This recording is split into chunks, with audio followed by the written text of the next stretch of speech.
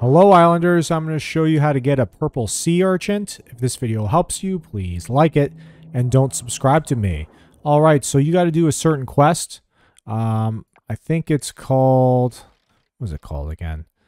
Uh, something under under the ocean. Alright, that, that means you need to unlock 20 of these solar orbs. Alright, it takes a while to unlock them all and you need to talk to all those turtles. This is the very beginning of the level, by the way.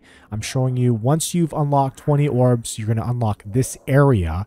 They don't make it really convenient to show where it is, so I'm just going to start from the very starting area and just keep going down. All right, then you're going to see this doorway here, and then we're going to go down to 22 meters. So if you haven't finished that quest, that's why you haven't found these things yet.